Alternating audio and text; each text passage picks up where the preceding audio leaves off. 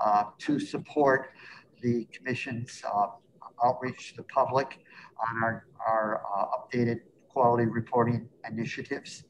Uh, MPT has been used by a number of different state agencies with uh, a good deal of success over the last several years, including the governor's opioid uh, command center, the Maryland Department of Health itself, and the Maryland Health Benefit Exchange. So we think working with a fellow state agency, if you will, will offer us some cost savings uh, as well as a streamlined uh, contracting a framework. We use what are called interagency agreements to formalize the, uh, the, the uh, engagement with this organization. We'll keep you posted uh, as we go forward uh, and at a later meeting this fall we'll outline plans for using. Um, I'm on there with my name. Oh, I just want to know, is there, what, So, if any option do I have? Option. Richard, I think you're online. Uh, You need to mute yourself. Ed.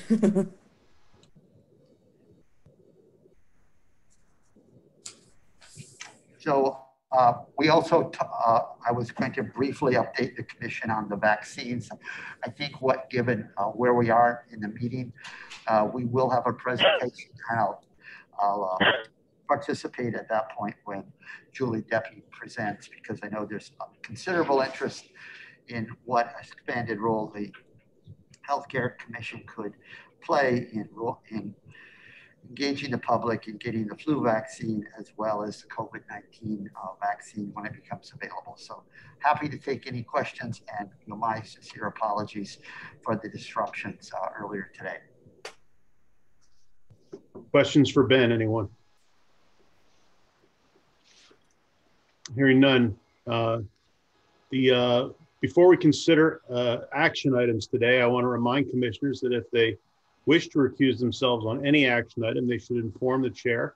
Since this is a remote meeting and a commissioner can't move to the small conference room, commissioners who are recused should remain silent and mute their phones, please. Uh, on to agenda item number three, where I will recuse myself uh, and Vice Chair Sergent will chair this action. Randy? Thank you, Chair Pollak. So uh, starting in on agenda item number three, I believe we should take take the roll. Uh, I don't have the roll in front of me though. Um, I don't know, Ben, do you have the roll? So we can call off the, the whole list of commissioners. I will forget some folks. Yes, uh, Dr. A. Kandade. Are you present?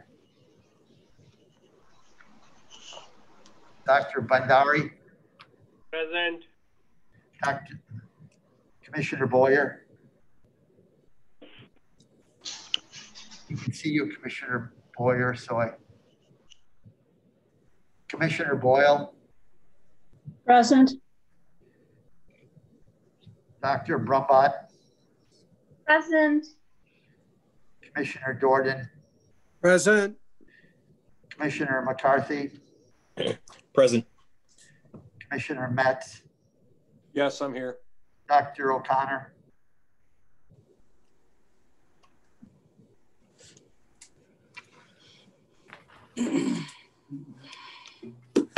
Dr. O'Grady, Present. Commissioner Reimer, here, Dr. Thomas.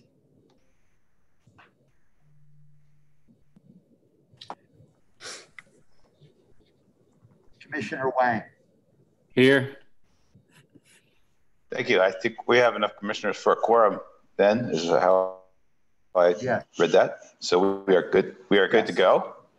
I'll proceed with action item number three. Ask everyone on the meeting, and just for all those who are not participating in the meeting and haven't hit mute yet, we can see you when you talk. A little yellow box in your name pops up right at the top. So you might want to review that mute button if you're not talking. Agenda item number three is the University of Maryland Midtown Surgery Center LLC. It's a proposed, the University of Maryland Midtown Surgery Center LLC proposes to establish an ambulatory surgery facility with three operating rooms and two procedure rooms in an ambulatory care building on the Midtown Medical Center campus as part of a plan to shift outpatient cases to a lower cost setting and advance the clinical integration of the University of Maryland downtown and Midtown hospitals. Program Manager William Chan will present the staff recommendation. Mr. Chan, uh, would you would you please proceed? Thank you, Commissioner Sergent, and good afternoon, Commissioners. The University of Maryland Midtown Surgery Center seeks to establish an ambulatory surgical facility with three operating rooms and two procedure rooms, created by fitting out approximately 13,268 square feet of shell space on the first floor of the Midtown Ambulatory Care Building. This building is currently under construction across from the University of Maryland Medical Center Midtown campus. The facility will be owned by the University of Maryland Midtown Health, a subsidiary of the University of Maryland Medical System, which holds a 95% ownership interest, and the University of Maryland Faculty Physicians, which owns the remaining 5%. The proposed project seeks to create a cost-effective ambulatory surgical facility that will allow lower charges for patients who are otherwise obtaining these surgical services at UMMC and UMMC Midtown. And meet the demands of insurance carriers to reduce charges for surgical services by allowing performance of a higher proportion of outpatient surgery in the more cost-effective ASF setting rather than the hospital.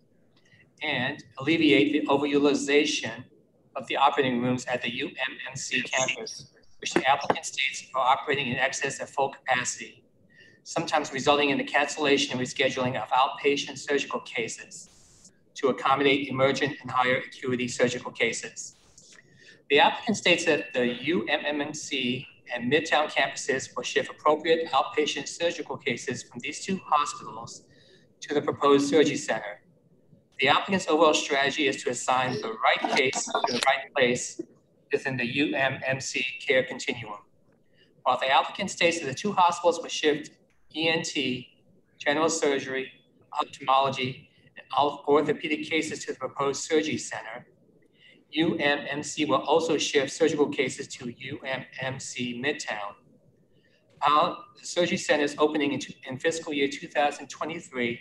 The applicant projects the, ASF, the ASF's three ORs will immediately operate above optimal capacity or about 95% of full capacity. The estimated total cost for the surgery center is approximately $9.3 million, that it will fund with cash from both the UMS and the University of Maryland faculty physicians operations. The surgery center projects making a profit in fiscal year 2023, the first year of operation, and in subsequent years of operation. The primary impact of the project is on the two hospitals affiliated with the applicant. In addition to the shift of volume to the ASF, UMMC will shift surgical cases to UMMC Midtown uh, as part of its clinical integration strategy and to relieve the current strain on the downtown campus, which the applicant states operates in excess of full capacity. The project should not impact other existing providers in the healthcare system. The proposed surgery center will be a lower cost setting than both UMMC and UMMC Midtown. The total cost for patients will be significantly lower at the surgery center than at either UMMC or UMMC Midtown which will mitigate financial barriers and improve financial accessibility for the local service area population. The project will have a positive impact at the two UMS hospitals by reducing the utilization at UMMC's mixed-use general purpose ORs to more comfortable levels of optimal capacity as defined in the surgical services chapter. Allow UMMC to accommodate additional cases that has turned away in recent years due to insufficient OR capacity and significantly improve the utilization of the underutilized mixed-use general purpose ORs at UMMC Midtown with the shift of surgical volume from UMMC. I would like to note a correction to the report on pages 18 and 19. UMMC Midtown is currently operating seven and not 10 ORs. In 2007, the commission approved a CON authorizing the construction of eight ORs with shell space for two additional ORs in the future. Midtown constructed eight ORs and shell space for two additional ORs. It is currently utilizing seven of those rooms, using the eighth OR storage, and a shell space for four post-anesthesia care unit beds. In implementing this project, UMMC Midtown plans to activate the eighth OR and relinquish the shell space for the two ORs and continue to use that space for PACU beds. In closing, staff recommends that the commission issue a CON for the proposed UM Midtown Surgery Center based on staff conclusion that the proposed project complies with applicable standards in the General Surgical Services chapter of the State Health Plan. As demonstrated need is the most cost-effective approach, is viable, and will not have an adverse impact on either existing surgical providers or consumers in Maryland. There's, therefore, staff recommends that the commission approve this project the following two conditions. Condition one, the University of Maryland Midtown Surgery Center will provide to the public upon inquiry or as required by applicable regulations or law, information concerning charges for the full range of condition of surgical services provided. And condition two, the University of Maryland Midtown Surgery Center shall provide at a minimum charity care with a value equivalent to 0.35% of its operating expenses. That concludes my presentation, but I would like to introduce several individuals representing the applicants who are on the line including from the University of Maryland Medical Center, Ms. Allison Brown, Interim President, UMMC, and President, UMMC Midtown Campus, Ms. Dana Farrakhan, Senior Vice President, Strategy, Community, and Business Development, Greg Fleischman, Vice President, Finance, James McGowan, Vice President of Peri-Operative and Procedure Services, Scott Tinsley Hall, Director, Strategy and System Market Intelligence, Linda Whitmore, Director of Project Development, Michael Plank, Senior Project Manager, Construction and Facilities Planning, Michael Glancy, Strategic Planning Project Manager, Susie Angeles Falconer, Director of Business Development, UMMC Midtown Campus, Wanda Walker Hodges, Director of Nursing, UMMC Midtown Campus, from the University of Maryland Faculty Physicians, Ms. Lisa Triplett, Director of Corporate Operations. From ALS Healthcare Consultant Services, Mr. Andrew Solberg. And then counsels from Gallagher, Evelius, and Jones, Mr. Thomas C. Dame, and Ms. Mallory M. Regenbogen. And that concludes my presentation. Thank you, Mr. Chan. So before we have discussion, uh, why don't we put a motion on the table? Do I have a motion to approve the application of University of Maryland Midtown Surgery Center establishment of an ambulatory surgical facility? So moved. Casey Boyer. Thank you, Commissioner Boyer. Do I have a second? Second, Commissioner Boyle. Thank you, Commissioner Boyle. So um, is there any discussion or any questions? Yeah, uh, yes, This uh, is uh, Dr. Bhandari. I have some questions. Um, let's see, we have Boyle and Bhandari. I'll go alphabetically, Commissioner Boyle, but I won't forget that you have a question. Dr. Bhandari, go ahead. So is this going to be a regulated or unregulated um, uh, ambulatory surgical center? Are you saying uh, with relationship to HSCRC for fees, rates? Yes. Is it regulated or unregulated? It's, uh, you, It uh. HSCRC submitted a letter that basically stated that because this was a freestanding facility that's not attached to the University of Maryland Midtown, that would be unregulated. Good. And actually, in HSCRC letter I read, uh, page number two, first paragraph, it states the regulated infectious disease clinic will be located on floor seven, and regulated diabetes and endocrinology clinic will be located on floor eight. So that's a little confusing for me. Is there some services are going to be regulated and some are unregulated? I know we're in. Bill, this very- is uh, Mallory Regenbogen. I'm happy to answer that if you'd like. For. Um, Yes, and I uh. What, We one have second. If one second, whoever's talking, we can hear about the discussion about your alibis. Can you please mute your phone? Yes, could everybody please mute if you're not speaking? Please be sure to mute your phone if you're not speaking. Thank you. We've had enough problems today. We should all be deeply embarrassed if we fail to mute our phones after everything we've been through. Ms. Regenbogen, I think you were going to to speak, and I hope I pronounced your name correctly.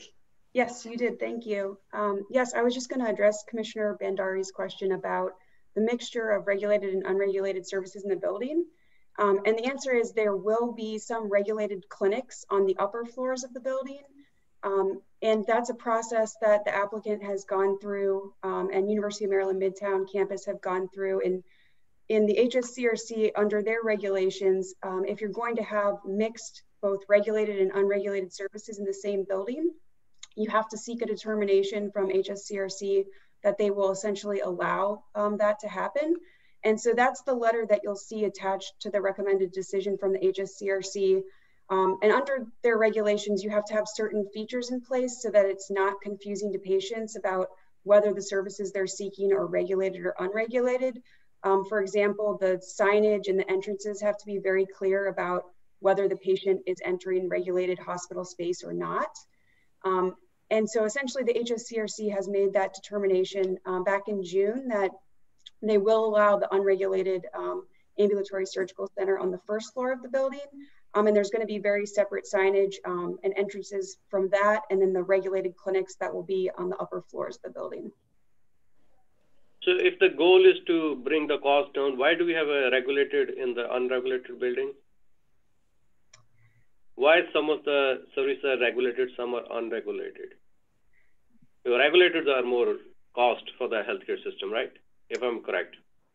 That's true. And I think it's actually a, a, pretty common feature that occurs these days to have ambulatory care buildings that are on a hospital campus and to have a mixture of some regulated, some unregulated services.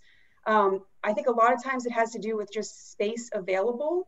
Um, and a lot of times clinics are moved uh, sort of out of the main building and can be in a adjacent building. Um, I don't know if anybody else on the line um, from UMMC Craig, if you want to add anything to that, but I think that's a pretty common feature. I was just going to add that the clinics that are moving into the building are maintaining their current status. Um, so I think it's important to recognize that the clinics are simply, as Mallory stated, moving from one location to another, but the clinics that will be in that building are remaining uh, with the existing status they have from a regulated and unregulated perspective. Okay, thank you so much. And second is, uh, it says uh, University of Maryland Midtown Surgical Center shall provide a minimal charity care value equivalent to 0.35%. What is the currently they are doing uh, uh, charity care and what is the maximum they will do? And thank you for doing this all for much needed patient population in Baltimore and state of Maryland. I really appreciate what you're doing at Midtown campus. So I can answer, Craig Fleischman, I can answer that question. Um, the current charity uh, care percent at Midtown at the hospital in general, and this is across all the entire scope of services, is about 1.6 to 1.7%. So um, it, it's I, I don't know the answer to exactly what the charity care is specific to surgical services because um, we uh, we don't break it out in that capacity. But this is a, is a lower threshold. But really, when in terms of the extent that you said, you know, it's hard to say that because the charity that we do is based upon the applications that we receive. So each application we receive for charity care has its own set of merits in terms of whether it qualifies or doesn't qualify. So to the extent that we have patients that qualify under our charity policy and they exceed that 0.35%, then those will certainly be honored in this setting. Thank you so much. Commissioner Boyle, I think you had a question. Uh, yeah, thank you. Um, uh, on page 15, you're talking about the, um, you're using an inflated rate that's common in the ASF uh, industry. But then you go on and state that, um, uh, that uh, the uh, third party uh, contractually adjusted rate or as a self-pay patient, patients would generally not pay the full charge, but would pay a reduced amount. Generally not pay is, doesn't mean never. And I'm curious whether any um, uh, patients, self-pay patients, would be required to pay the full amount, which is uh, inflated. So uh, again, this is this is Craig answering that question. Uh, the answer to that question is is is no. Um, it's that the charges are one thing, um, the, and as you mentioned and as you read from the application, the the payments on the insured side are based upon contractual uh, oh, obligations yeah. with the insurers. The for self-pay patients, they receive generally speaking the same level of contractual discount that an insurance company would receive of that set of charges. Well, I mean, that, that, I mean, that's good to hear, but your wording is generally not pay. And, you know, that has been an issue uh, from time to time. I'm not saying with you, I'm just saying in, in general of self-pay, having to pay the highest amount. So I'm just want to make sure that they wouldn't. Yeah, I, and I, am not sure how to to get, to give you that true assurance, other than the fact that that they the, the charge based um the, the contract like I said they will receive the same level of contractual discount or one certainly similar to what the insurers were. I'm not sure how to get you comfortable per se with that, other than to say it, which is only based on what my, my words at that point. Okay, well then maybe in the future change your wording from generally not pay because that's what uh, that was the red flag. I appreciate. I, I think that's fair. Uh, fair assessment. Thank you. Thank you. I think Commissioner Boyer had a question or comment. I, I just one quick comment. I want to um, give you kudos for actually reaching out and getting commu real community support, not just elected officials, but reaching out to members of the community, to the, the ministers, the planning, was the Uptown Planning Committee, and there's one more the Charles Street Development Corporation for actually reaching out to your neighbors and making sure everybody's on board with um, what you're planning. So thank you very much. Yes, thank you. Thank you for your comment. I have a question myself, uh, and then if any other commissioners will after that, we, we certainly will give you a chance. My question is about the total cost of care from this change.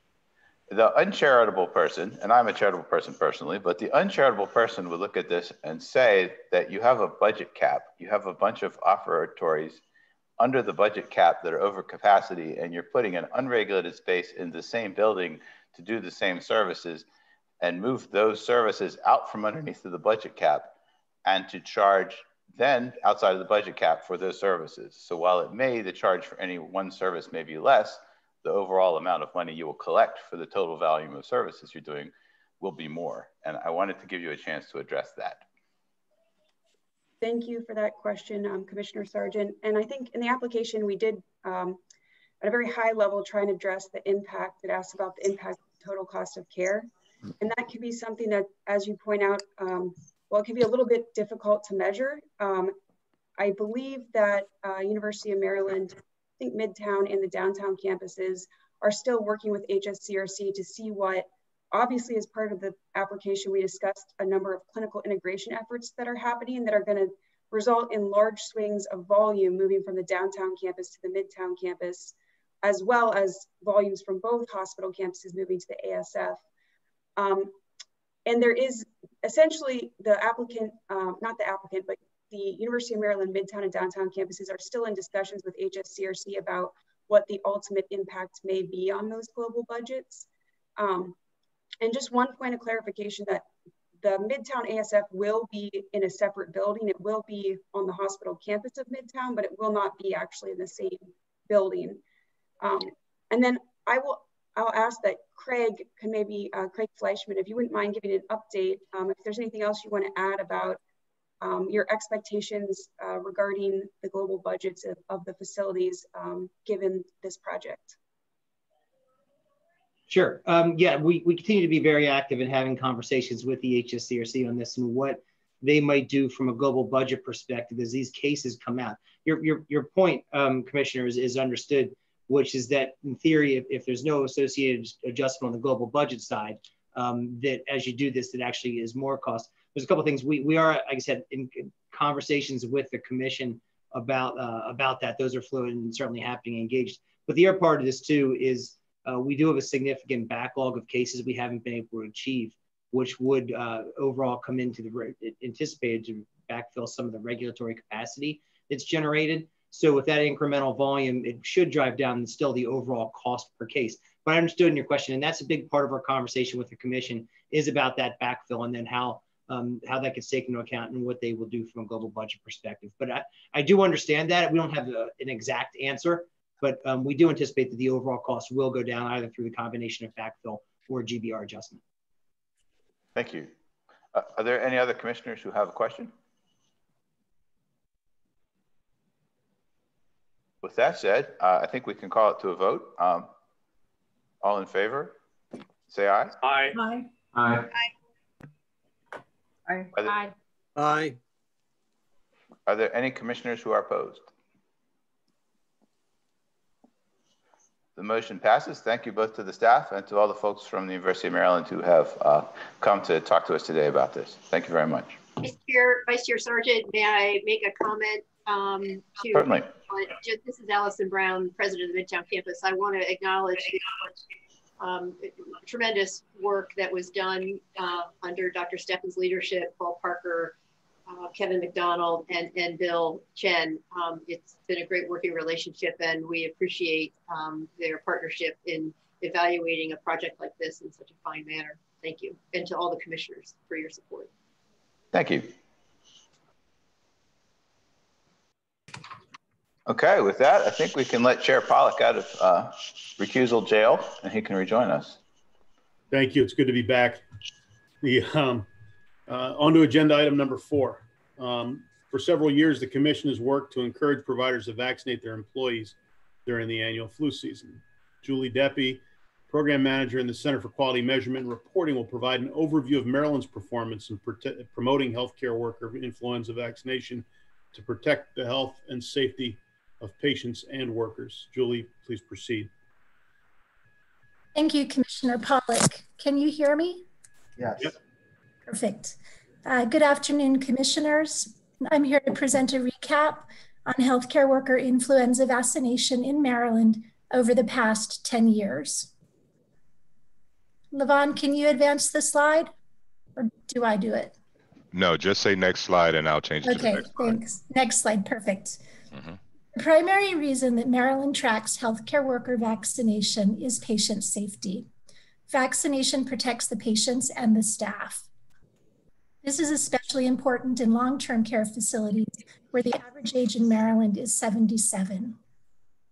The past flu season, which CDC defined as moderate, adults aged 65 and older accounted for 62% of the total deaths. The flu can be deadly for anyone, but it has a higher death rate among the elderly. Next slide, please.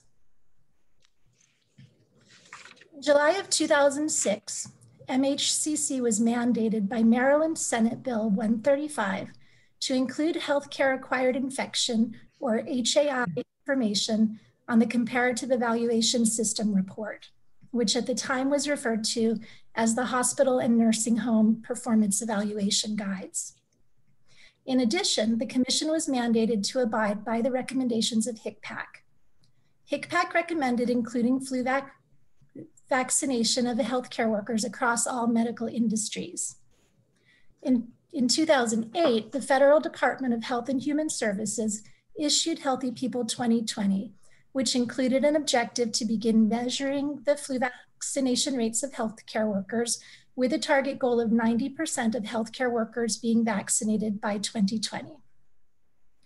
In response, the Commission, with the guidance of the HAI Advisory Committee, established a work group to focus on this topic and developed a survey instrument, definitions, standards, and guidelines. The result was the Healthcare Worker Influenza Vaccination Survey for hospitals, ambulatory surgical facilities, and nursing homes. The survey instrument was also shared with the Department of Health to survey local health departments. Next slide, please. Oh, I forgot to say that same year, the National Quality Forum released a recommended measure to collect that same information. So Maryland required mandatory reporting of flu vaccination for hospitals and ambulatory surgical facilities in the 2009-2010 flu season. Nursing homes followed the next flu season with assisted living facilities with 10 or more reporting in 2011-2012. Hmm. Beginning with the 2012-13 flu season, CDC required hospitals and ambulatory surgical facilities nationwide to report healthcare worker vaccination directly through NHSN, which is the National Healthcare Safety Network. MHCC now receives the hospital vaccination information directly from NHSN. In 2018, NHSN dropped the ambulatory surgical facility vaccination measure, but the Commission has always collected this information directly from the annual ASF survey that MHCC administers. and the 2018 survey data should be available in the upcoming weeks. So next slide, please. In the pilot year of reporting, only one third of Maryland hospitals had a policy. By the 2013-14 flu season, the year following mandatory federal, federal reporting in NHSN, 46 out of 47 hospitals had implemented a mandatory vaccination policy. The remaining hospital didn't have a mandatory policy because their vaccination rate was always around 95%. This year, in response to COVID-19, that hospital has implemented a mandatory policy. So it's harder to compare the vaccination policies for the ambulatory surgical facilities because the data is older. So currently 65% of nursing homes require their staff to receive a flu vaccine and only 43% of assisted living facilities with 10 beds or more require their staff to be vaccinated. So, next slide, please. Unlike with hospitals, there is no federal requirement to report long-term care healthcare worker vaccination to NHSN. So in 2000, the Maryland General Assembly unanimously passed into law Maryland House Bill 846, which requires specified related institutions to immunize residents against the influenza virus and pneumococcal disease and employees the influenza virus. Specified related institutions are defined in Health General 19301. This makes Maryland one of 24 states with flu vaccination requirements for long-term care facility healthcare workers and one of 32 states with requirements for long-term care facility patients to be vaccinated. Specifically, Maryland Health General 18404 requires patients and healthcare workers in facilities that provide overnight nursing care to two or more patients to assess influenza vaccination status, to provide or arrange for vaccination, and get written documentation of vaccination or declination. The law provides for declinations based on medical contraindications, religious beliefs, or refusal after being informed of the health benefits and the health risks. Next slide, please. This is a visual of the improvement in vaccination rates for hospitals and ambulatory surgical facilities. The jump in vaccination rates between the 2011 and the 2012 flu season and the following flu season corresponds to the year that CDC required mandatory reporting. Vaccinations for both facility types improved rapidly and have stayed consistent. Maryland hospitals have been a national leader in healthcare worker vaccination rates excuse me, and have consistently reported rates at or above 96% since reporting became mandated by CMS. Next slide, please.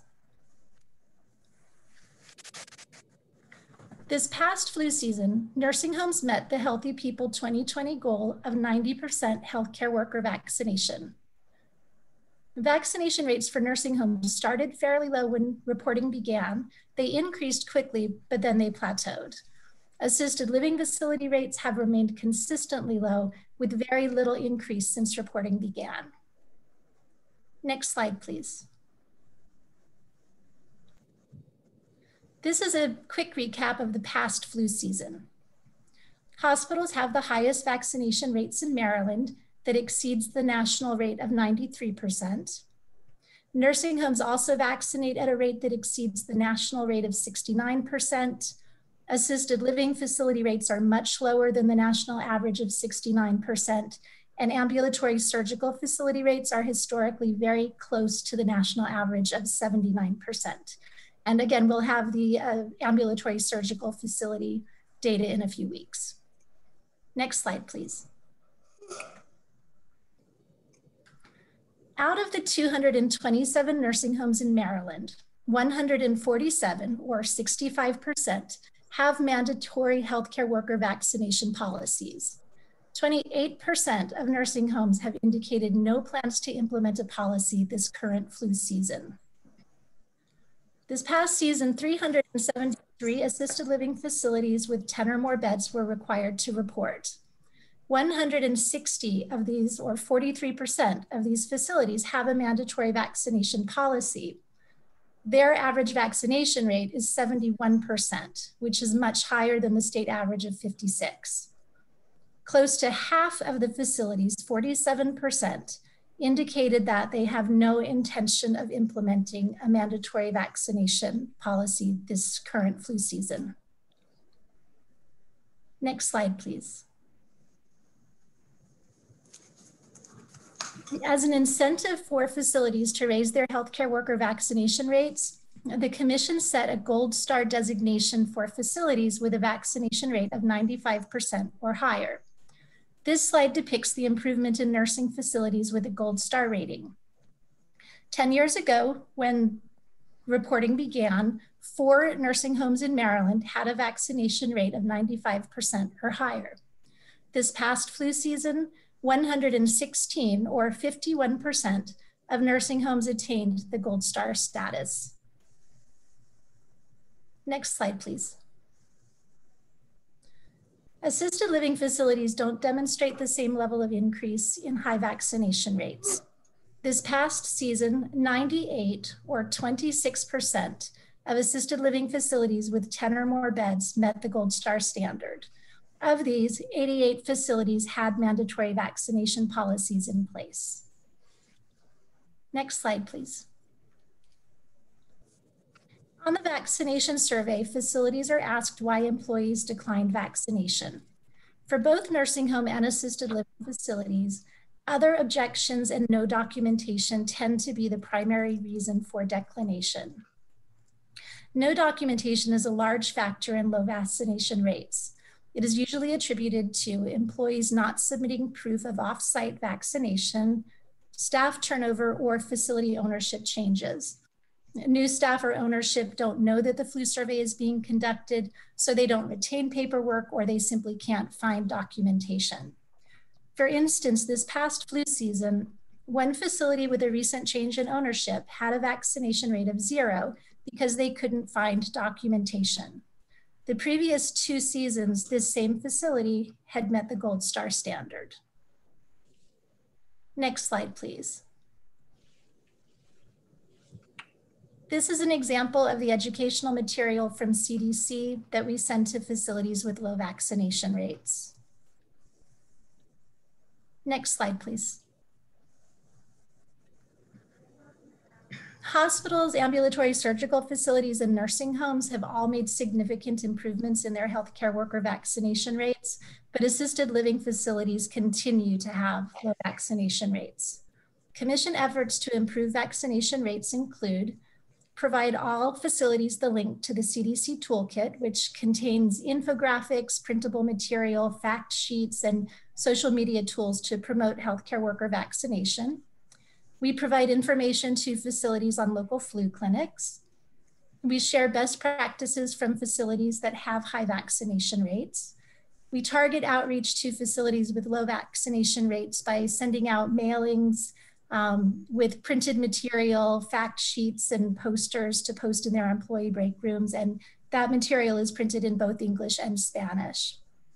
And new this season, the CDC is partnering with two major pharmacy chains to vaccinate nursing home and assisted living healthcare workers. So the Department of Health will be using our contact list to send out information to all long-term care facilities this week. So next slide, please. And here's another example of the type of posters that we mail to facilities. This one is in Spanish. Next slide, please. So in conclusion, hospitals, ambulatory surgical facilities, and nursing homes have all raised their rates significantly. We still need to emphasize the assisted living vaccination rates. Um, the Maryland uh, pay for performance program, uh, they increased their vaccination threshold to 95% or higher. And the increased weight of the influenza score for the pay for pay program should help raise vaccination rates for nursing homes. Um, the COVID 19 pandemic might encourage more healthcare facilities to implement or begin providing vaccination to their staff. and Health General 18404. How can the commission leverage this to increase the assisted living vaccination rates in Maryland?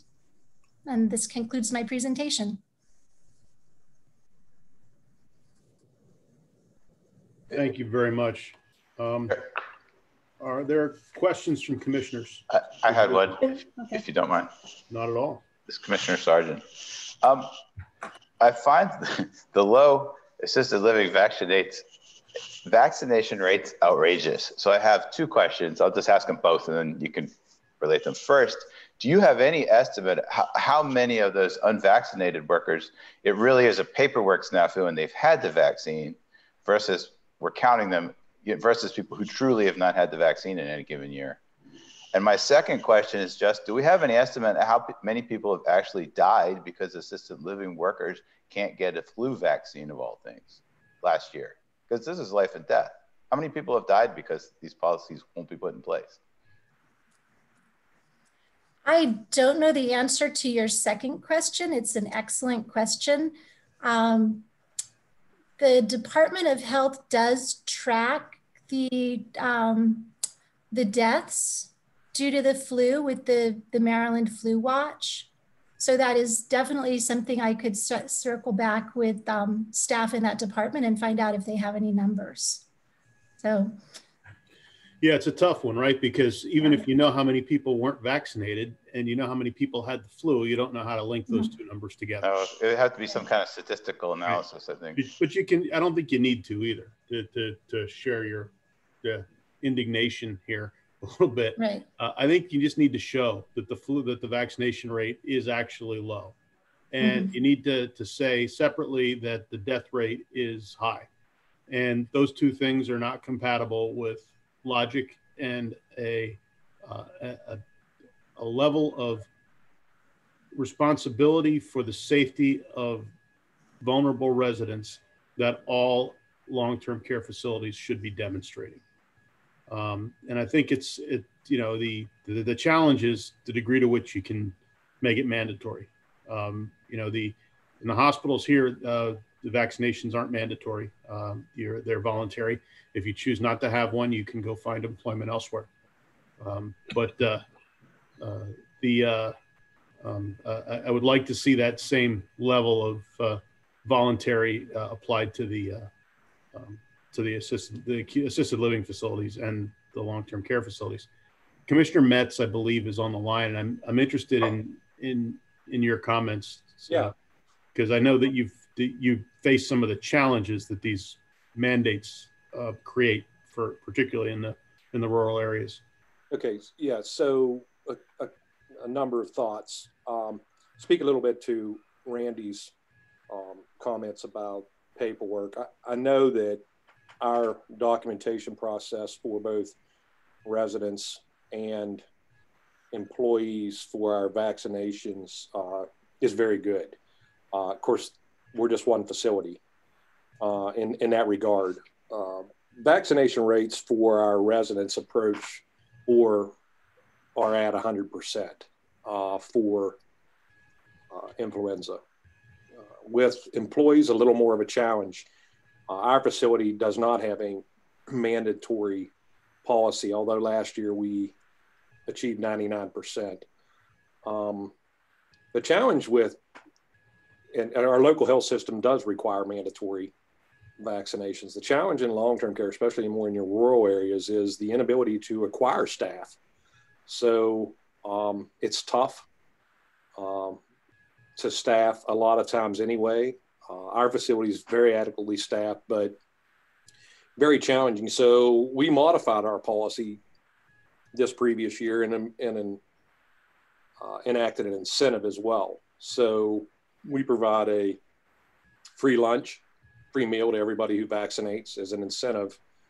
Um, our policy then also was modified to where if you so chose not to vaccinate for whatever reason, you would be required to wear a mask throughout flu season, uh, which was a big motivator for folks. Uh, this year we'll see, you know, because everybody's wearing a mask anyway.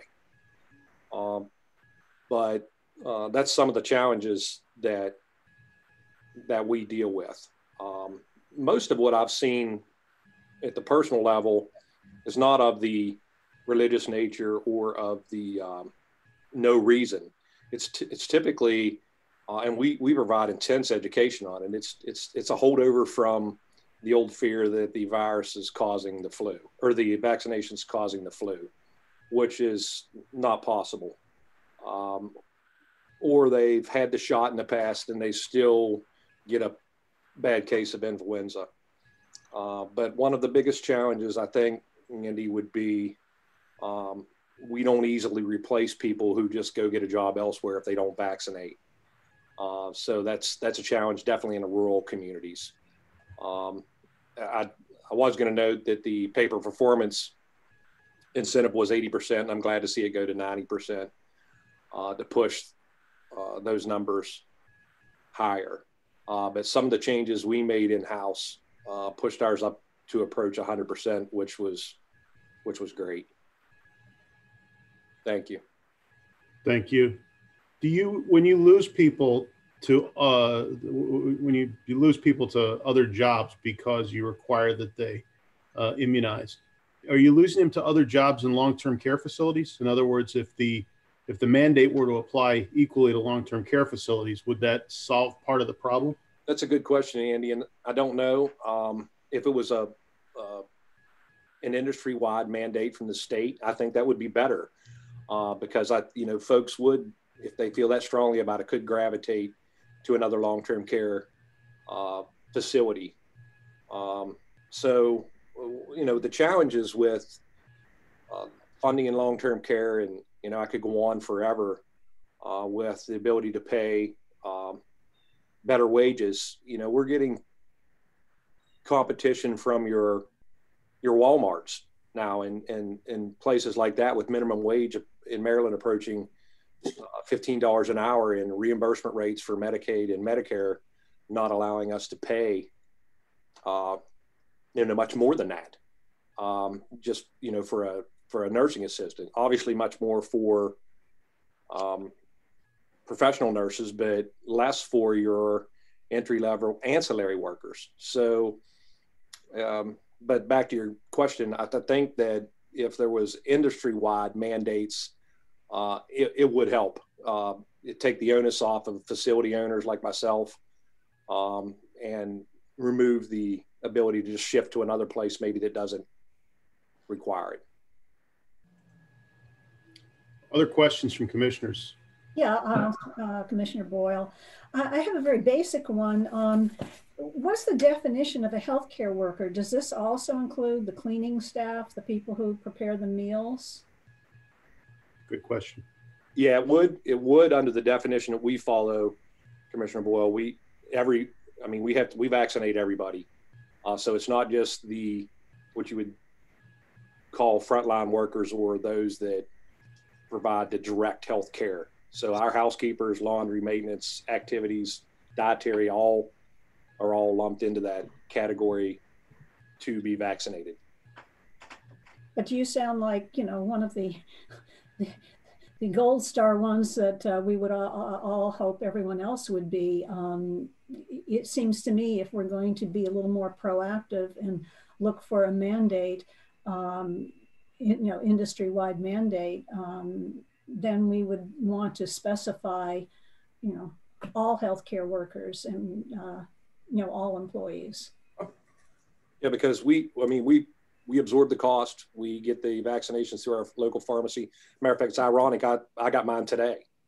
My, you know, my infection control nurse come in today and, you know, there's a very thorough documentation process. We screen, we do our uh, tuberculosis update at the same time. Uh, so um, ours is pretty thorough and our documentation is very thorough. And, and folks that are coming from other facilities or who have been vaccinated can show us proof of vaccination. But by far and away, most of our folks are vaccinated by the exact same nurse uh, in our facility. So, right. Julie, what is required as far as documentation? So on our survey, we ask if we ask different types of questions regarding Um, do you save documentation uh, of vaccination or declination? Do you save it in the employee's file?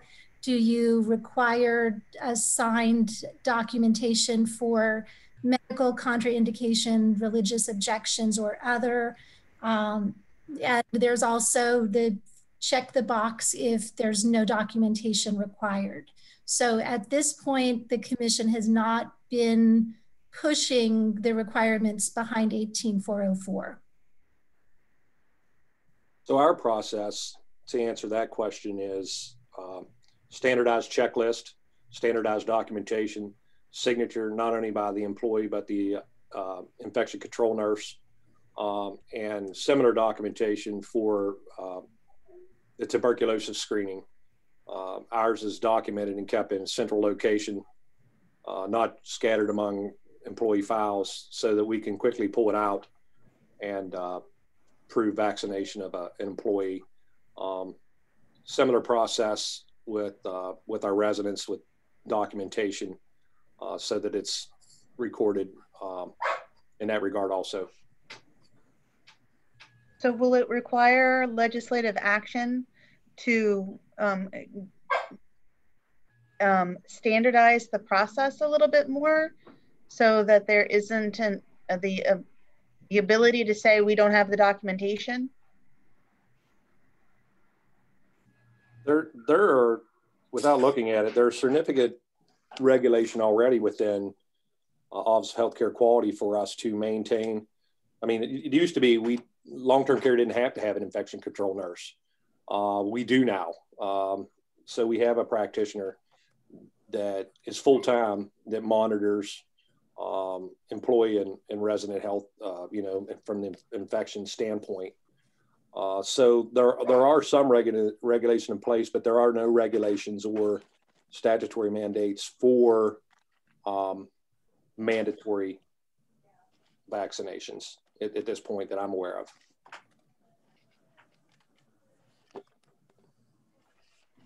Um, this is Commissioner O'Grady. Um, I was just wondering in terms of this, when I think about some of the work we do on the website for consumer information, especially back to assisted living, do we have sort of an assisted living compare or something along those lines where this information could be, I mean, before we start talking mandates, something where we could publish this. So I, I tend to think of assisted living as a little bit more, you know, people are also sort of shopping for that, that apartment for that next chapter of their life.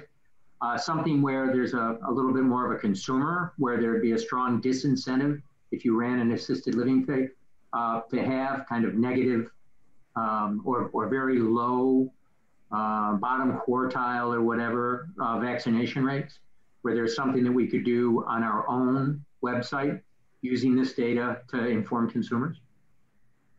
The Consumer Guide to Long-Term Care does have that information. So we post uh, a three-year look back. So currently it would be this current, this past season 2019-20, and then two years prior. So um, when we have the new quality reports design, we actually will be able to do a compare feature that the old consumer guide, you can't really compare, you know, side by side facilities. But with the new quality reports, a consumer would be able to compare up to five facilities side by side on one screen. So that the they would be able to see the vaccinations. Yes, you would Good. be able to Very see the good. vaccination rate. So one one comment on assisted living, and and uh, I'm just entering that field um, from a personal perspective with some ownership. Um, if you compare it, not you're not comparing apples to apples when you're talking about assisted living and long-term care. So your long-term care facilities, 227 in Maryland, uh, obviously very heavily regulated, um, all surveyed at least annually. Um, and uh, very controlled environment. So your vaccination rates by default are going to be higher and monitored more closely. The majority of your assisted living facilities in Maryland, and there's some, you know, 1,200, um, are less than 10 beds. Mm-hmm. Uh, they're, they're tiny. Uh, they're your really super small mom and pops. So, for instance, my nursing facility is kind of referred to as a mom and pop because it's only 66 beds and, and we're not part of a larger corporate chain. Um, assisted living, you know, there's, there's, you know, hundreds all the way up into thousand of very small facilities, 75 some percent that are, that are tiny. Um, and the regulatory mechanism it w- would be almost impossible. It's not. It's, I mean, it's almost impossible to more thoroughly monitor what goes on uh, just with the those very small assisted living facilities. Um, the other the other thing would be, quite frankly, could be very well ac- access to vaccinations at those types of facilities. Uh, in in long term care, you're dealing with ready access to institutional pharmacy providers that provide the, the vaccinations we need for both our residents and our employees. At those tiny mom and pops that are basically within people's homes, uh, become much more difficult um, to, to make occur, if, if that makes sense. That's what's so exciting about this new CMS or CDC initiative that the Department of Health is reaching out to all of the long-term care and assisted living facilities. And I don't know all the details because they haven't released it yet, but it sounds like the they're offering the flu vaccine and they might be covering the cost. And that's significant because when we work with, as you, we call them the mom and pop facilities too, the ones with fewer beds, and cost is an issue that um, that's one of the reasons why we actually provide the links to local flu clinics. Like for instance, this weekend, Baltimore County is having a free flu clinic. So that's something that we would provide to the facilities in case they can't afford the cost of vaccination, that they can at least encourage their employees to get vaccinated. Right. Um, just one follow up on that, Jeff. In terms of, is this one of the, you know, certainly in other areas when you look at like um, oxygen suppliers, and we see that there's lots of providers and many of them are mom and pop, but there are fairly large, kind of more corporate entities that really cover many more people. So there, there may be 300 providers or whatever, and 80% of them are less than 10, but the, the rest of them is really where the volume is. So in, in, in my part of the state, you know, assisted living is run by Marriott or Hyatt, and it's six stories high, and is 300 apartment units with various, you know, kind of ways of swinging in and out various skilled medical staff. So those people, it's a, it's a, it's a different dynamic, and and where you might want to have a, I don't know, a hardship policy or something else, or additional sort of things like Julie is talking about for the mom and pops. I hesitate to give a free ride to all those fairly well established, well organized, uh, big operators who this seems as you know the chair has pointed out this seems kind of outrageous that they just sort of seem to blow this off as not really their responsibility when there's so many vulnerable people that they're serving. So Correct. I'd rather have a, a, general policy that focuses on picking up the largest number of people and then make special exceptions for the people you don't want to inadvertently step on their toes, um, rather than leave it kind of with a lack of policy direction because you're concerned that there are mom and pops who you could step on their toes. Nobody's looking to hurt their business. But I, I think we have to, you know, we also have a responsibility to, to thinking about the patients and the consumers who, who go into assisted living facilities, assuming that they have a higher level of, of health safety given they've made this move. Correct. I mean, your your analysis is correct. So, like from my own experience, and we're just about to to open it. I'm I'm opening next to our adjacent to our nursing facility, a 16 bed uh, memory care assisted living facility, uh, and it it will be treated just like our skilled facility as far as infection control. Uh, your larger providers, like you talked about, um, you know, your, your, Marriotts or whoever your your your big folks are, like like Brightview and and, and some of those um, place uh, places that they'll have some some flu clinics uh, and, and is billed by you know for their residents by the insurances and the Medicare, et cetera. So they have a little bit of an advantage. So, but to your point, there should be no reason that your, for lack of a better term, corporate operators to to uh, bypass this process. So I don't know if Julie has information that would be that would break down the statistics between your, you know, your operators of, you know, 20 beds or more that are that are are more positioned through and affiliated with your chains or your corporate operators like ours will be to make sure that they're providing um, necessary vaccinations. I don't know, Julie, do you guys have that ability? Yes, we do. We have that in our data files, the corporate ownership and the bed size. We have how many employees each facility has. So we can absolutely funnel down and get down to the details. So, then it would be possible for those types of providers and, and uh, to, there could be a mechanism in place, regulatory or otherwise, that would say if you're above X number of beds, you know, that, that it's mandatory or it's required. Uh, that I don't want to say would exempt, and I don't want anybody to get the impression that that the people living in your uh, eight bed facilities or your four bed facilities in somebody's home are less important.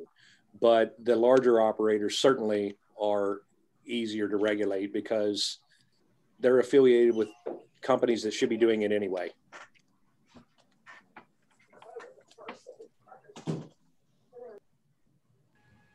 Other comments?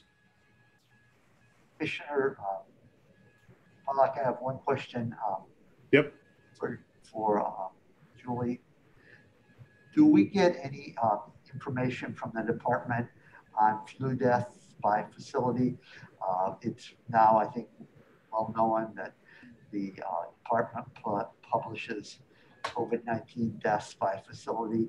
Does the department publish um, deaths attributed to flu historically by uh, nursing home or assisted living? I am not aware that they have ever published that inf information by facility. That I would have to look into that, Ben. Thank you. Good question.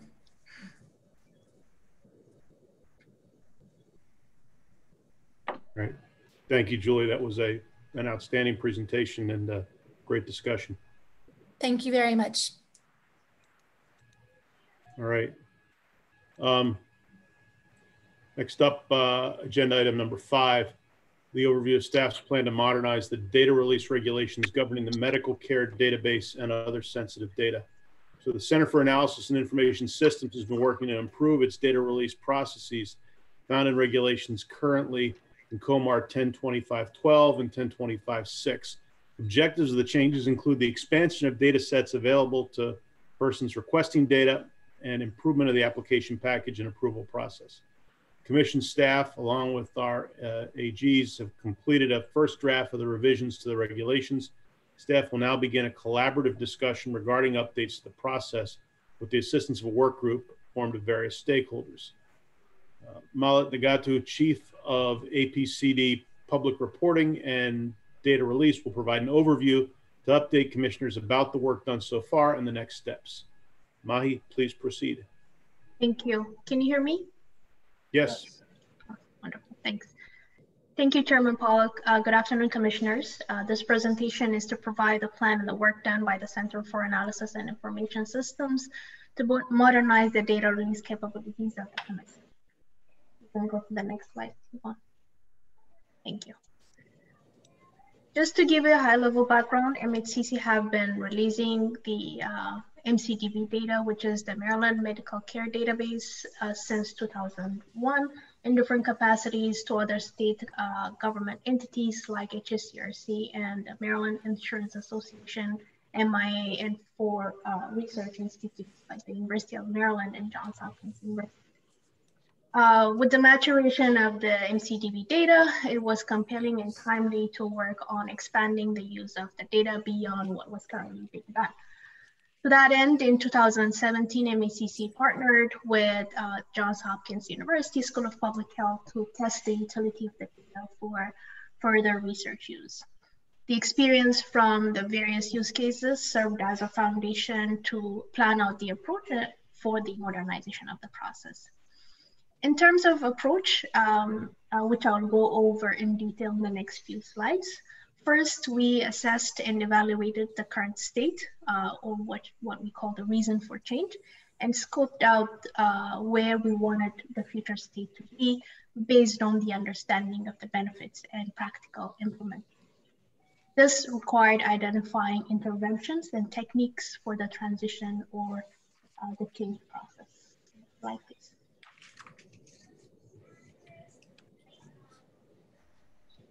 Some of the major reasons for change uh, for the current state were things like the requirement of an IRB for all types of requests, all types of applications, basically, which subsequently meant only research organizations were eligible. In other words, applicants uh, that want to do price transparency initiatives were not qualified. Uh, at the time, only full year of the MCDB data uh, is, is made available for release. Uh, even though MHCC collects other sensitive data, such as trauma patients and uh, Medicare uh, MDS, which is the data set, the current regulation only applies for uh, to the MCDB data only. In addition, the application forms, review guidelines, and approval standards were unclear as the regulation was a bit outdated and somewhat vague. Um, the plan also included updating the current website, housing the data release information to make it more intuitive and easy to access. Next slide, please. So um, based on the current state, the areas of improvement could broadly be, be classified into, two, into four buckets. So this is updating the uh, COMARs, uh, that's COMAR 102506 and 102511, developing a new application package, streamlining the application review process, and documentation and improving the website. Next slide, please.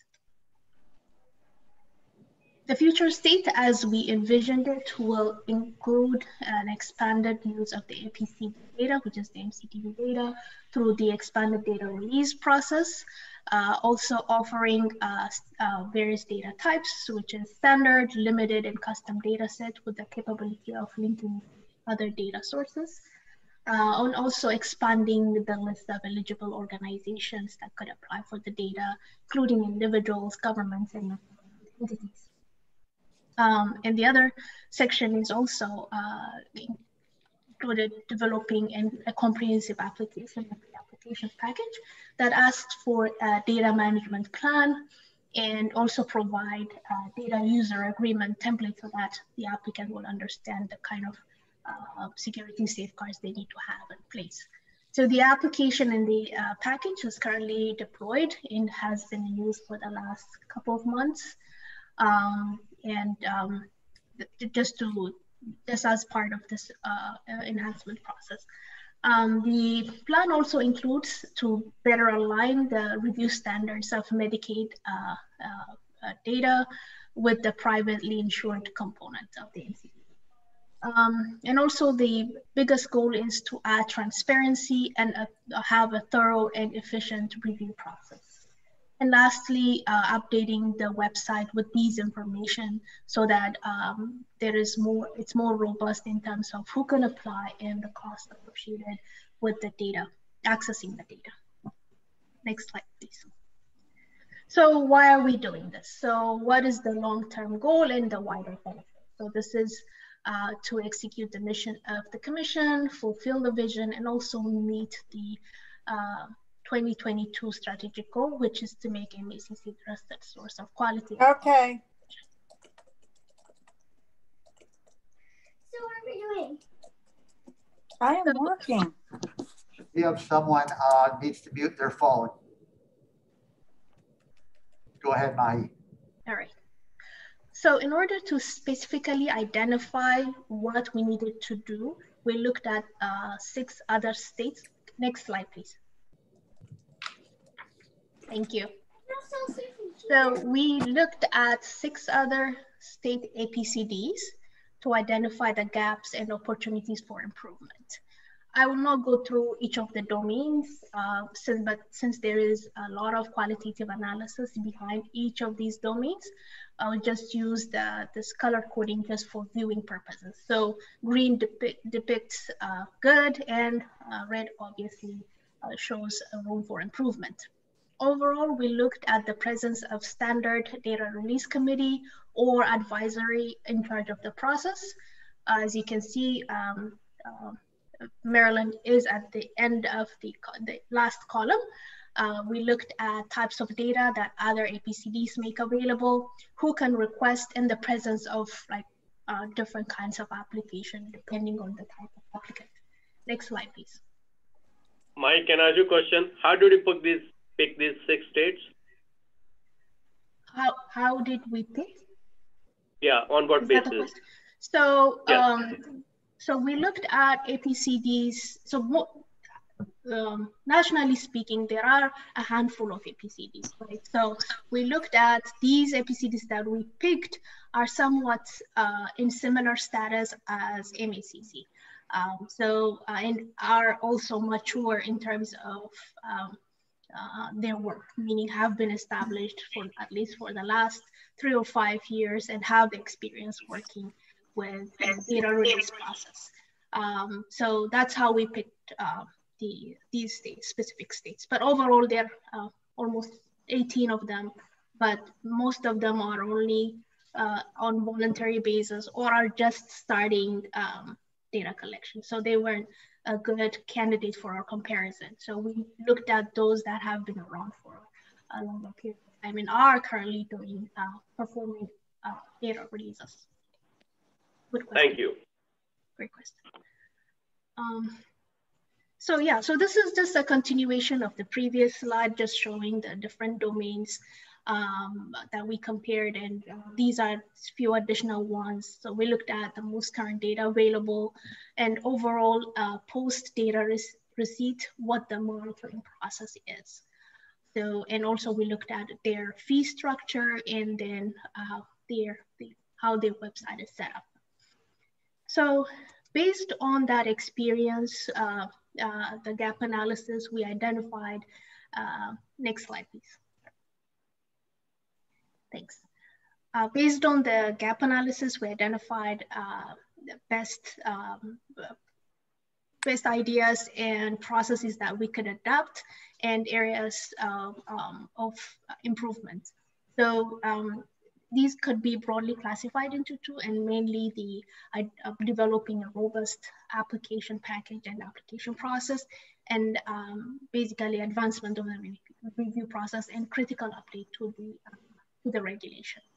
So uh, to that end, we, um, meaning commission staff with their assistant attorney completed the first draft of the revised regulation and also are currently uh, form in the process of forming a data release work group uh, with various stakeholders to gain their insight and valuable feedback on the, on the revision to the regs.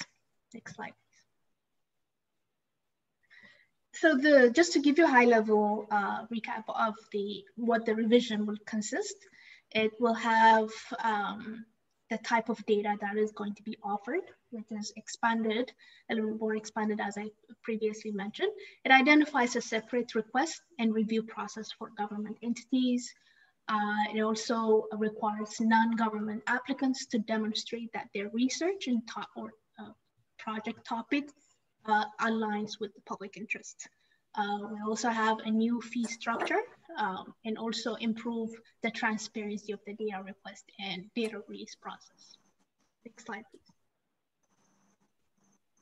So as in terms of next step, um, as I mentioned earlier, we are uh, the work group is is being formed, and also uh, we are um, we are kind of finalizing the the participant list, and it consists of state agencies, uh, providers, uh, consumers, payers, uh, and researchers, as they are the primary beneficiaries of this. And staff also welcomes commission's uh, participation as well. The work group is scheduled to meet at least three times. And uh, after the final work group meeting, staff will post the draft regulation for public comment. And uh, finally, um, staff uh, will be presenting the proposed final regulation to MHCC at the um, early 2021. Uh, this concludes my presentation. Uh, thank you for your time. I welcome any questions. This is Commissioner O'Grady.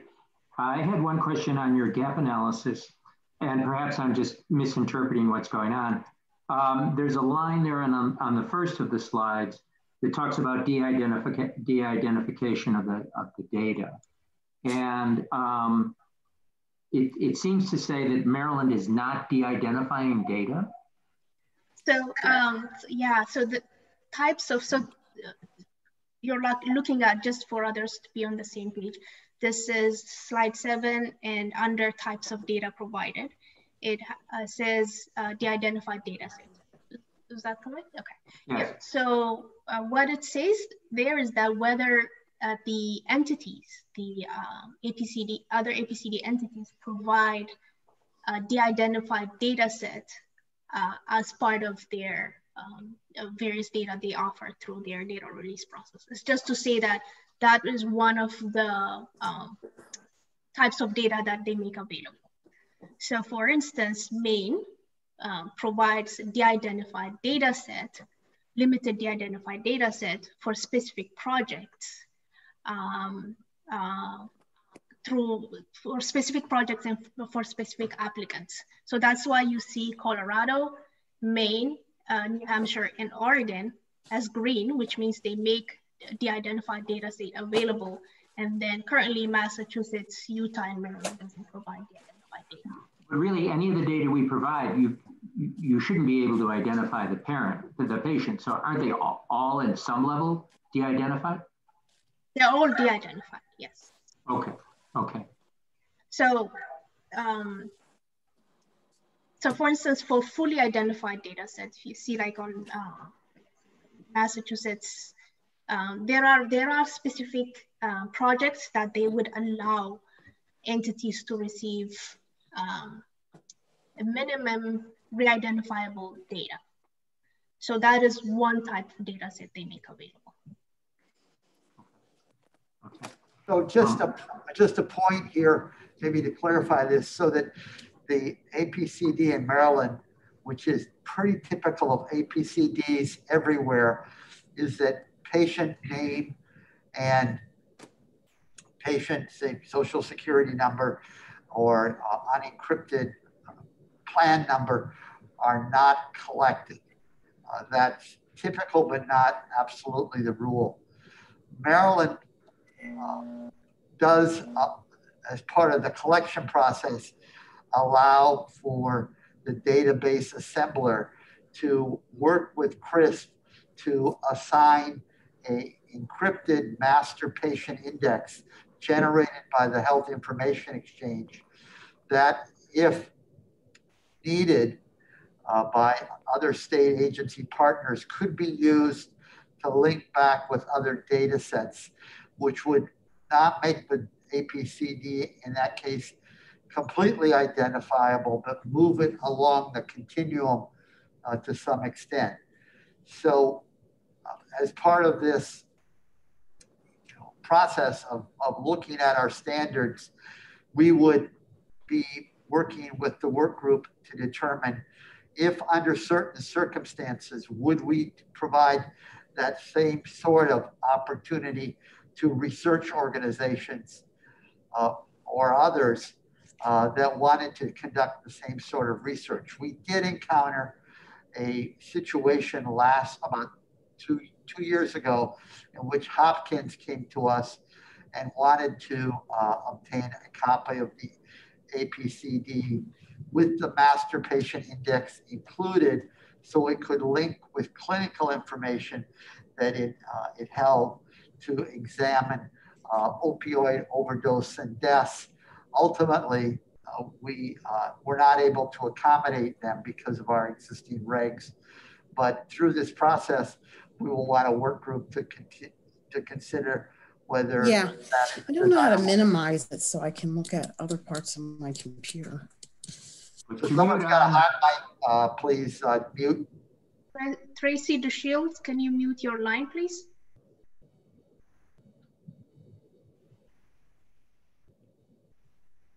Go ahead, Ben. Yeah, I think, yeah, so uh, the chart, the, the, the gap analysis does demonstrate that you know, we are kind of very, we have up to this point provided a limited um, flexibility in the types of data that could be made available. And the recipients of this data are quite limited relative to what other states are doing uh, with their APCDs.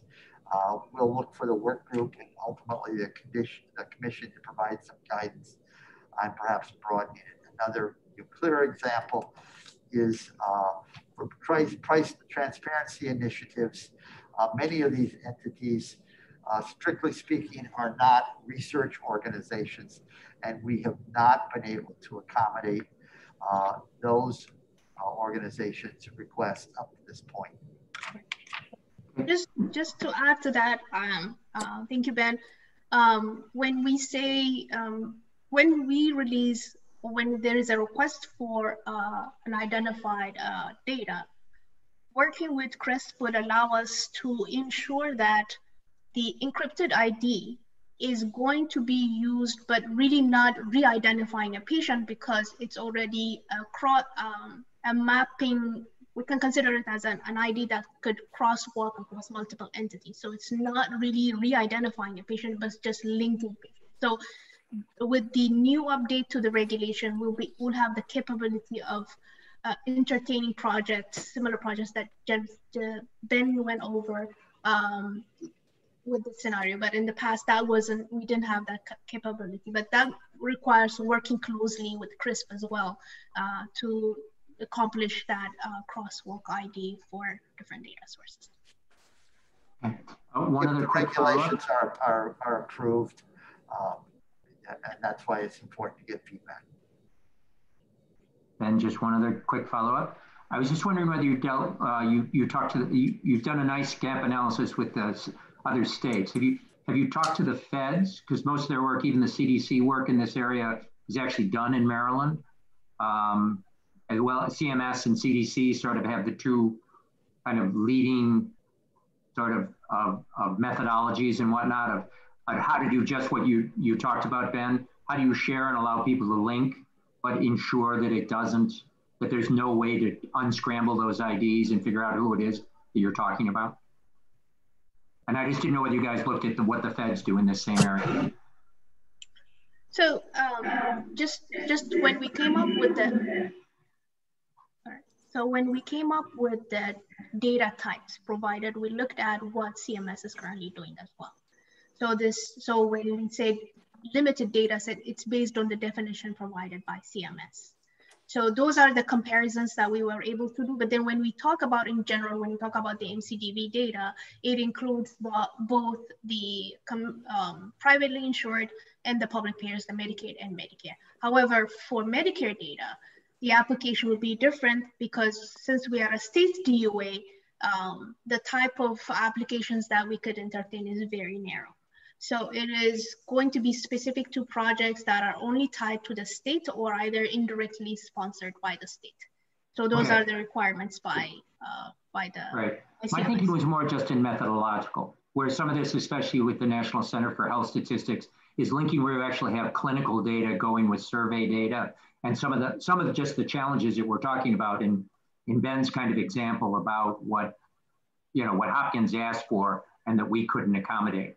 It seems to me it's it would be nice if we could accommodate Hopkins. It would also be nice if the state had the capability to do a similar thing in some areas like the diabetes work that the state is involved in. Uh, Commissioner O'Grady, you raised a good point. Uh, and if you had some suggestions on uh, uh any federal uh, officials uh, that we could reach out to, that would be very helpful. Um, I think adding them to the work group might be a way to uh, socialize us to what some of the federal agencies are thinking. And uh, my gosh, we don't have to play, uh, pay for travel time these days with all the virtual meetings. So perhaps we can uh, get them to come to Uh, yeah, right. They're in College Park, so I think it's pretty, you know, and the, the, the CDC people are just in College Park, so it's pretty easy, even if we don't have to pay for travel. If we did. Thank you. Yeah. feel like I think the technical part might not be the biggest challenge, more of the regulation and the um, this um, the process that we have in place. But te technically, I don't think that will be a big issue. Other questions for Mahi? Great, thank you, Mahi. That was fantastic. Um, ben, would you like to share the upcoming activities for the November public meeting? Uh, so uh, first off, uh, again, my apologies for the disruptive meeting today. We'll, we'll be looking at the uh, arrangements for uh, future meetings. Uh, I think that we, we have always erred on making our meetings as open as possible, but there are challenges with that, and we'll look at appropriately balancing uh, those uh, those two requirements. I did want to mention just uh, at the outset before I uh, dropped into what we would be doing next week month is that on the vac- on the flu vaccine front, we have already reached out to the department in terms of whether uh, they would consider uh, modifying uh, the section of the statute pertaining to mandated flu vaccinations, uh, 18404. Uh, it had been tried uh, in 2015. That was uh, then. Uh, and I think obviously the climate is much different. they have not responded either affirmatively or negatively on this. Uh, it should be noted that in the public health emergency, the secretary could accomplish this objective by via a uh, an order, uh, but that would remain in effect for only the duration of the public health emergency. So we will be working with them. Uh, they have not uh, signaled to us whether they would uh, support a legislation coming from the Healthcare Commission either to do that very same thing. But we clearly want to work uh, closely with them as well as the uh, post-acute community to figure out how I think we can move this forward as the broader objective of expanding you know, uh, flu vaccinations uh, in line with also the uh, likely rollout in the six months of uh, vaccinations for COVID-19. For November, I, I've already uh, indicated that we, Commission, will be uh, holding a Commissioner retreat. Uh, currently, the plan is to do that over two uh, half-day sessions. Uh, probably in the afternoon, we will uh, be sending that communication out to you about that, and we'll we'll post that information on our website uh, as as we do when we have commissioner uh, uh, retreats. For the uh, November meeting, which will be uh, the week before Thanksgiving, the 17th of November, we will be considering the several certificates of ongoing performance for PCI programs in the state. Uh, we don't expect we'll have any uh, CONs for the first time in some time. Uh, keep in mind, however, we are now operating under the rapid turnaround rules of legislation uh, passed in 2020 or 2019, excuse me, that requires us to act uh, promptly on CON applications uh, if there's no interested parties. I believe it's uh, 60 days.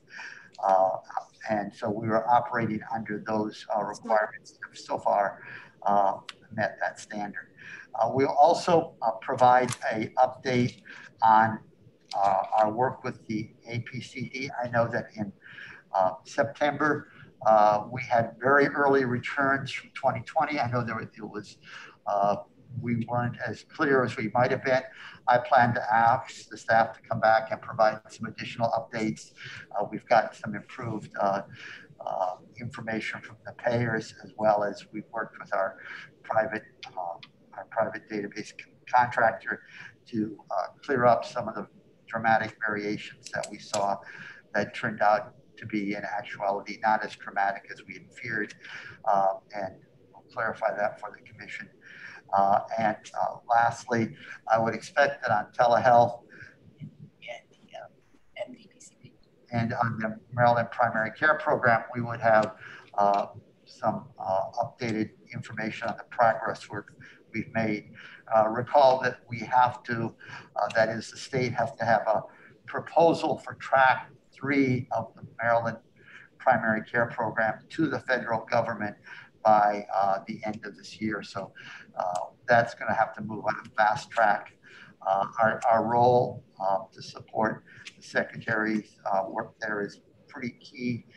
And David Sharp and his team are working very closely with the PMO, the Project Management Office, to come forward with a rational uh, proposal to uh, CMS that will be summarily uh, shot down. So uh, we want your input and thoughts on that. I would note that on our telehealth work group, I detected some interest on the part of Dr. Bhandari. Uh, and if he and others would like to participate in the several work group meetings that are planned over the next uh, six weeks, please get in touch with either David Sharp or me. Uh, these meetings typically are in the later afternoon. Uh, if it's convenient for other commissioners that would like to join, the, the, the conversations are pretty, uh, pretty insightful of where different provider organizations and payers stand on uh, how we move forward uh, with telehealth uh, as we move hopefully through the through the pandemic and back into a more normal standard care. So that's uh, it. Expect an email shortly from the uh, either from uh, Ms. Stevens or from me on the plans for the retreat. Thank you, Mr. Steffen. I will love to do that. Uh, we'll reach out to you, Dr. Bhandari. Thank you, sir. Others, please feel free to contact me as well. If there are no further uh, questions or comments, I'll entertain a motion to adjourn. No move. Commissioner O'Grady. Me. Bhandari. Seconded, seconded Commissioner Bhandari. All, all opposed? Good. See you on the month. Thank you. Yeah. Bye-bye. Bye now. Thank you. Thank you very much. Thank you.